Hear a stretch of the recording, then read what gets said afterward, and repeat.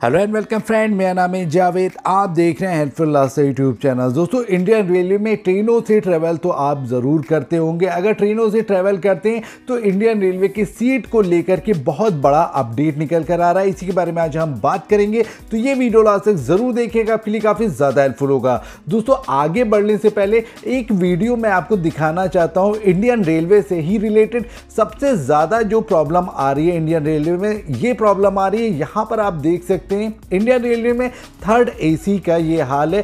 Third AC में खचाखच बिना टिकट वाले यात्री घुसे हुए हैं और यहाँ तक कि गेट ओपन भी नहीं हो रहा है। यहाँ पर आप टीटी को भी देख सकते हैं। टीटी भी परेशान है गेट ओपन कराने के लिए, लेकिन कोई भी गेट ओपन नहीं कर रहा है। हम सफ़र एक्सप्रेस का ये वीडियो है।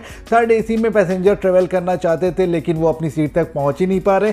थर्ड एसी में जब ये हाल है तो स्लीपर क्लास में क्या हाल होगा? आप इसकी समस्या का समाधान बता सकते हैं कमेंट बॉक्स में। दोस्तों, बढ़ते हैं अपडेट की तरफ़। सीट को लेकर के बहुत बड़ा अपडेट निकल कर आ रहा है। आपको तो पता ही है, जब आप मूवी देखने जाते हैं तो आप अपनी सीट बुक करते हैं। सीट नंबर पहले से आपको पता होता है कौन सी सीट आप बुक कर रहे हैं। फ़्लाइट से ट्रेवल करते हैं, आपको पहले से पता होता है। चाहे तो आप उसके अंदर भी सीट बुक कर सकते हैं, आपको पहले से पता होगा कौन सी सीट है मेरी। लेकिन इंडियन रेलवे में आप टिकट बुक करेंगे सीट नंबर आपको बाद में मिलता है।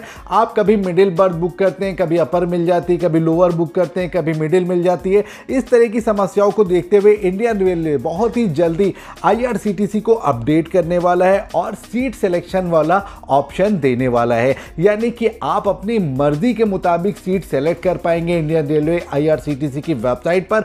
आपको ट्रेवल में कोई भी प्रॉब्लम नहीं होगी। पहले से आपको पता होगा कितनी सीटें खाली हैं और कौन कौन सी बर्थ खाली है। वो बर्थ आप बुक कर सकते हैं इंडियन रेलवे आईआरसीटीसी के ज़रिए। ये अपडेट बहुत जल्दी होगा, मैं आप तक पहुँचा दूँगा। उसके लिए ज़रूरी है वीडियो को लाइक करके चैनल को सब्सक्राइब करके रखें ताकि कोई भी लेटेस्ट अपडेट आए, सबसे पहले आप तक पहुँच सके। Thank you so much for watching